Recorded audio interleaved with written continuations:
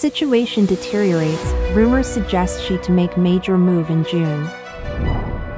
A new round of Sino-US trade war, what's different this time? A comprehensive analysis. 2024 Intensifying storm of middle class impoverishment in mainland China. It's all covered in today's China Truths. Situation deteriorates, rumors suggest Xi to make big move in June. On a riveting episode of NTD TV's Elite Forum, experts dissected what could be a game changing strategy from CCP leader Xi Jinping this June, amidst China's economic downturn. Inside sources reveal that in a recent meetup with top American business figures, Xi hinted at brewing a major initiative. There's also buzz that the postponed 20th third plenary session of the CCP, originally set for last October, might finally convene this June. These crucial sessions are typically pivotal for shaping economic policy, sparking intense speculation. Will Xi's upcoming move be an economic lifeline, or does he have a different ace up his sleeve? Situation deteriorates, Xi poised to launch big move. Experts in the elite forum suggest that Xi's plan might involve masking economic failures and mimicking Mao Zedong's political maneuvers, leveraging new productive forces to sow global chaos, and reshaping the state council to consolidate his autocratic power. Internet pundit Lao Deng suggested that Xi's much discussed big move could merely be a massive monetary easing, an influx of capital into the markets, or superficial economic tweaks, effectively just band aid solutions. He expressed skepticism about any revival of dated reforms from the CCP's 18th third plenary session. Meanwhile, Guo Jun, editor in chief of Epoch Times, highlighted that the CCP's likely financial strategy might involve ramping up the already voluminous money printing efforts. Despite this, the staggering 42 trillion US dollars in M2 money supply has only generated a 17 trillion US dollars GDP. This excess liquidity largely stagnates in banks or state owned firms, earmarked more for debt servicing than productive investment, failing to stimulate true economic growth and leading to rampant, controlled inflation that disrupts various sectors. Ms. Guo further notes that Xi now sees new quality productivity as a vital fix for China's economic woes. The CCP believes its decade long heavy investment in high tech sectors like electric vehicles and semiconductors has paid off. However, the success of these ventures depends on various factors, particularly as the U.S. tightens restrictions on Chinese high tech exports amid changing global market conditions. China also grapples with a severe internal and external trust crisis. This has led foreign and private domestic investors to ignore China's plight. Despite numerous economic stimulus efforts over the past year, the economy remains sluggish. To divert attention from these economic troubles, experts believe the CCP plans to disrupt global affairs to compel international cooperation, while domestically intensifying authoritarianism and mimicking Mao's historical tactics, all part of Xi's broader strategy. She posits that the CCP needs to engineer a global crisis to compel the US to engage diplomatically, given suspicions that the CCP is behind the recent sharp escalations in global tensions. Since it's no longer feasible to actively improve relations, the CCP resorts to various means to disrupt the world, forcing others to cooperate with it. Therefore, with the sudden changes in the world, there's a sense of an invisible evil force manipulating things from behind. Lao Deng also speculates that Xi might secure his regime through unexpectedly radical measures, such as elevating his wife, Peng Liyuan, to the Politburo, or further centralizing power, a move that seems to follow Mao's legacy of using political upheaval to address economic failures, such as during the Great Leap Forward or the Cultural Revolution. Ms. Guo highlights a stark pivot in Beijing's strategy as it clings to authoritarian tactics to address emerging challenges, thereby solidifying the Communist Party's hold over China's economic and societal structures.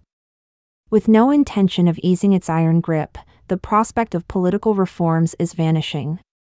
Xi Jinping has overtly ruled out any structural changes in governance during discussions with American executives, instead, charting a course for personalized political changes. This shift could radically alter the State Council's operations, moving from a collaborative cabinet framework to a centralized presidential model, or even towards a monolithic autocracy mirroring the absolute rule seen in the Qing dynasty, where one emperor's word was law. Xi Jinping personally manages economy, stock market, outlook not favorable. Under Xi Jinping's direct control and his anti pandemic policy, after three years aiming for a complete eradication of COVID 19, China's economy is now grappling with a series of crises, including the collapse of the real estate sector, a significant exodus of foreign capital, shrinking foreign trade, persistently high youth unemployment, sluggish economic growth, factory shutdowns, escalating government debt at all levels, and a continuously plummeting stock market. The internet, educational training sectors, platform economies, and the digital economy have all suffered under Xi Jinping's heavy crackdowns. Over the past year, neither the Chinese economy's expected vengeful rebound nor the public's similar rebound materialized, and the demographic advantage has also disappeared. Despite various efforts, the CCP has been unable to revive the faltering Chinese economy. Voice of America published an article indicating that in today's China, where there is a call to follow Xi Jinping's directives unequivocally, Xi's direct management of the economy and stock market is generally viewed unfavorably. Some international media believe his economic policies might even trigger a trade war, with more harm than good likely to result. On January 23, an article in the CCP's official media, People's Daily, reported on Xi's directives for financial work, which frightened investors. Xi stated, We must adhere to serving the real economy as the primary purpose of our financial sector. Marx poignantly critiqued a delusion in capitalist societies of making money without the mediation of production processes. This is a profound warning against detaching from reality. For China, a large country with over 1.4 billion people, only by securing our food supply and strengthening our manufacturing base can we provide a solid material foundation for achieving socialist modernization. Many observers note that Xi's disdain for making money without production processes clearly includes making profits through stock market investments. Xi expressed a preference for agriculture and manufacturing sectors. On January 9, The Economist published an article titled Xi Jinping Risks Setting Off Another Trade War. The piece noted that Chinese leaders are obsessed with lithium ion batteries, electric cars, and solar panels. These sorts of technologies will, Xi Jinping has proclaimed, become pillars of the economy. He is spending big to ensure this happens, meaning, in the years to come, that his ambitions will be felt across the world. A manufacturing export boom could very well lead to a trade war. Other commentators have suggested that Chinese rulers have long relied on economic achievements to legitimize their rule. Now, Xi faces an economic crisis both domestically and internationally, brought on by his own misguided policies that have devastated China's economy.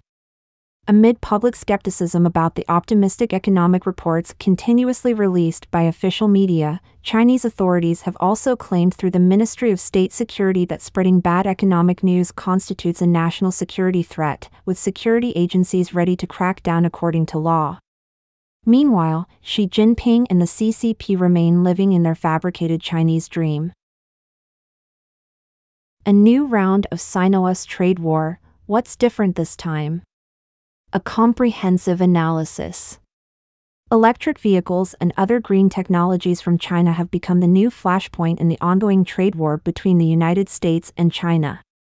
The Chinese government's significant increase in the production of inexpensive electric vehicles, solar panels, and batteries has raised growing concerns in the United States, Europe, Mexico, and other countries. Western nations are worried that China is attempting to boost its struggling economy through a surge in exports, which could potentially harm the interests of foreign companies. According to the International Energy Agency in Paris, after over a decade of subsidies for automakers, China now has a vast automotive industry that dominates 60% of the global electric vehicle market. However, the Alliance for American Manufacturing AAM, has found that Chinese companies produce 10 million more electric vehicles annually than they can sell domestically. This surplus has prompted them to expand sales internationally. This pattern is also seen in other sectors such as solar panels, batteries, and traditional industries like steel. In a February report, the AAM pointed out that the Chinese car manufacturer BYD has launched an electric SUV priced incredibly low at just $14,000, labeling the Chinese auto industry as a significant threat to U.S. carmakers.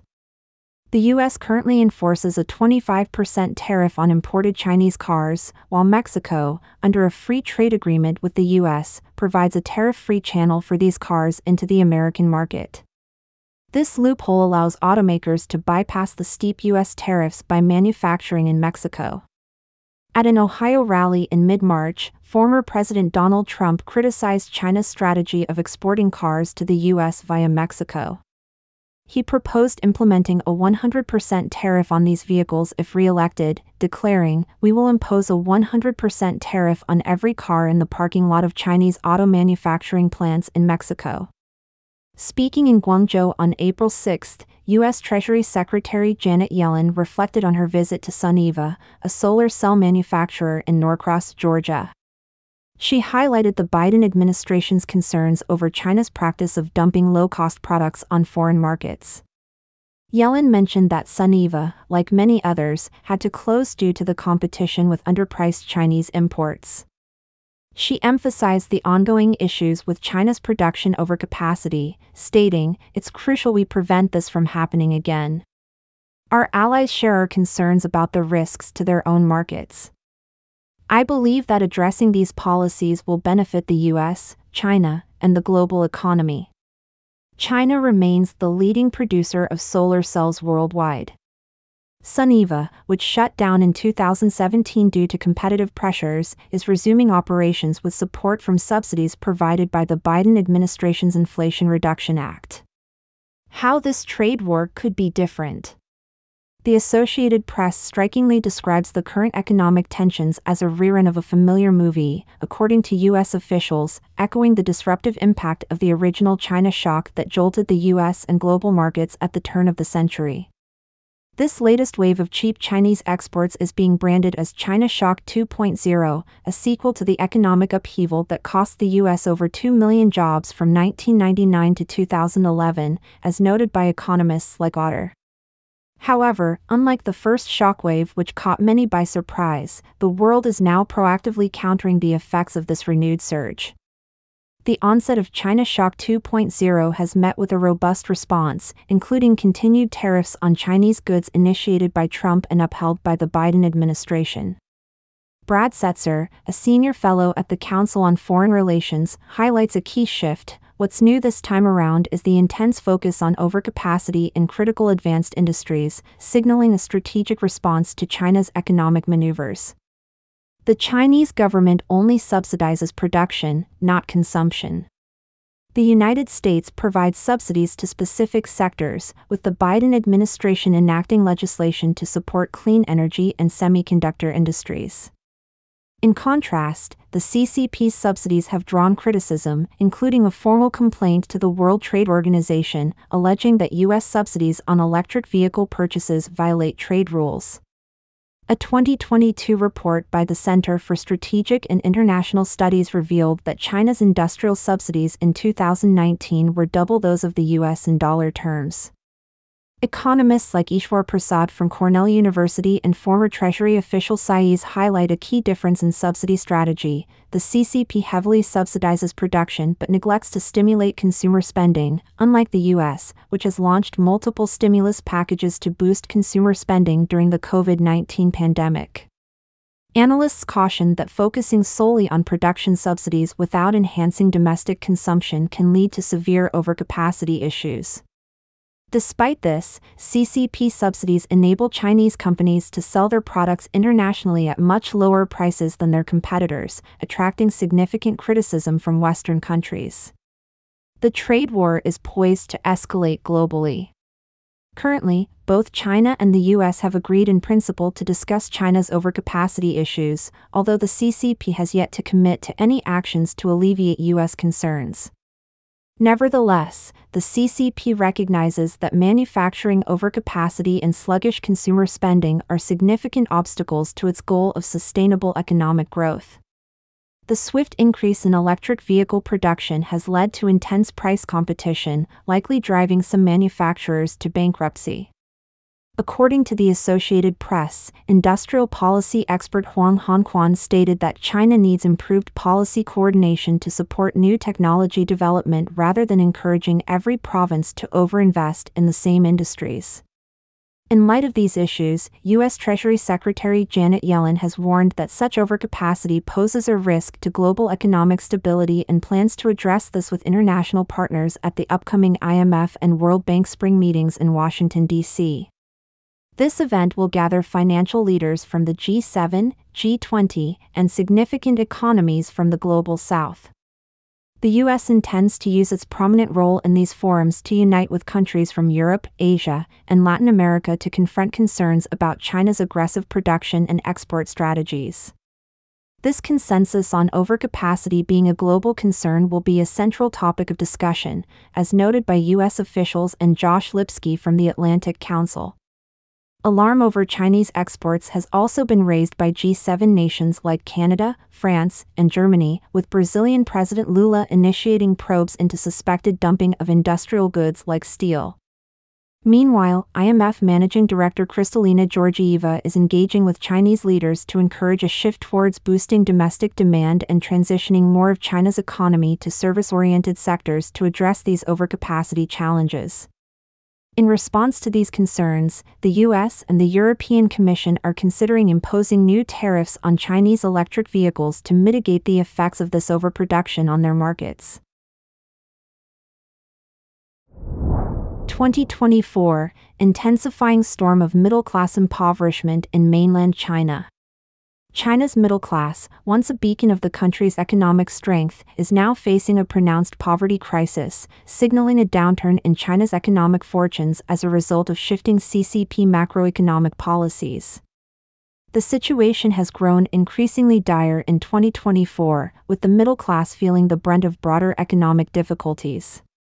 A stark manifestation of these challenges is the significant drop in personal income tax revenue, which fell by 15.9% year on year in the first two months of the year, totaling a loss of 326.2 billion yuan, about 45.08 billion US dollars. This decline predominantly affects those with annual incomes over 100,000 yuan, about 13,819 US dollars, a demographic largely composed of middle-class professionals. The financial difficulties are further compounded by falling house prices, stock market instability, diminishing incomes, lower bonuses, and devaluation in financial products and collectibles, painting a picture of a multi pronged financial assault on the middle class. The vulnerabilities of this demographic have expanded from the initial financial peril trio of high mortgages, unemployed spouses, and expensive education for children to what is now described as the five traps of middle class impoverishment. These traps include unwise business investments, excessive spending on real estate, luxury education expenditures, financial guarantees for others, and risky financial schemes. The expanded list of economic pitfalls points to a deepening crisis within the middle class. Reports indicate a troubling trend. In 2023, 43% of middle class families saw their assets diminish, a sharp increase from 31% in 2022 and only 8% in 2021. Individual stories reflect this data, such as that of a Shanghai white collar worker who struggled significantly with job searches in early 2022. Despite sending thousands of resumes, he received few interview invitations, eventually settling for a job with a reduced salary and no social security benefits. This situation was compounded when his state owned employer implemented a 10% salary cut across the board. Consumer behavior is shifting dramatically as middle class individuals cut back on all forms of expenditure. Notable declines include luxury purchases with Gucci seeing a nearly 20% drop in sales, resulting in a $9 billion loss for its parent company. Additionally, Swiss watch exports to China and Hong Kong have plummeted. Lifestyle changes are evident too, with fewer middle class Chinese traveling abroad and a significant downturn in the piano industry, once a symbol of middle class aspiration, now facing collapsing sales and shop closures. In January, Bloomberg reported unprecedented salary cuts across 38 major Chinese cities, highlighting the wide reaching impact of these economic pressures across sectors typically dominated by middle class employment such as real estate, finance, public services, education, healthcare, and new technology industries. The financial pinch is felt acutely in year end bonuses as well. A February survey indicated a 17.5% drop in average bonuses for white collar workers in 2023, with the steepest cuts seen in the financial sector. The reduction in income and the consequent erosion of consumer confidence is creating a negative cycle that threatens economic stability and recovery. These developments underscore the significant role the middle class plays in societal stability. Its potential erosion indicates transformative and possibly turbulent times ahead for China's socio-economic landscape. Let us know your thoughts on today's topic by leaving a comment below. If you found this video helpful, please share it with a friend, it inspires us to continue creating more quality and reliable content. Don't forget to like and subscribe for more interesting insights from China Truths. Thanks for tuning in.